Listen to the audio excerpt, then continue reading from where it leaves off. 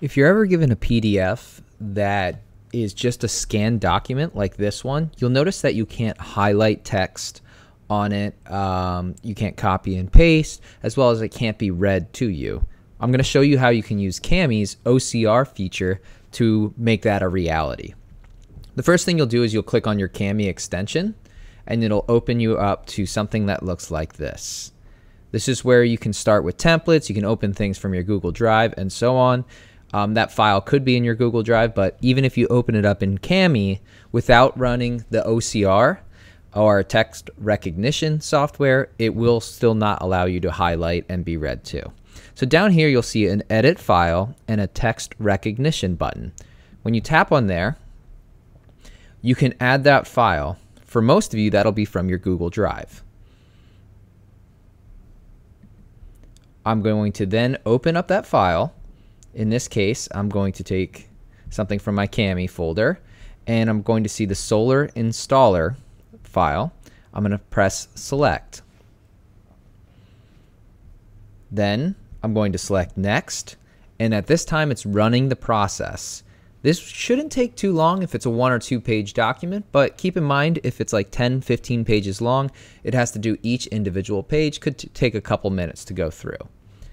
It's done. I can either download it or if I want this to be read to me or use some of the other Kami features, I can open it up right in Kami. So I'm going to select the K Kami logo. It's going to export it to Kami and allow me to open it up. When in here, I can zoom out so I can see the whole thing. Oops, sorry. And now you're going to see that I can actually select the text.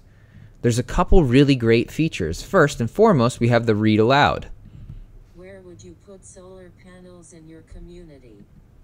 I can adjust the speed here to make that the normal speed. I can even change the voice. And 34. if I just press play, it's actually going to start reading from the top. Be careful with that because sometimes there's things that you can't see. For instance, this page number was read first. I like personally highlighting it just one hour of sunlight can make. Okay, so that will get it read to you aloud, which is really nice. Again, you can adjust the voice, you can adjust the speed here. And then when you have that selected, you can select Solar installers might mount a few panels on someone's home. Okay, the other nice feature is this dictionary option. Let's say you're reading something you don't know exactly what a certain word means. Um, in this case, I will click on, let's see, safely here. I'll highlight that. It's going to tell me the part of speech as well as give me multiple definitions for that word. So this coupled with the read aloud, let's say turbines here. What's a turbine? Okay, is going to tell me what that turbine is. Um, so you want to look through, you, you have it read to you, and now you want to know what a certain word means, you can use the dictionary feature for this.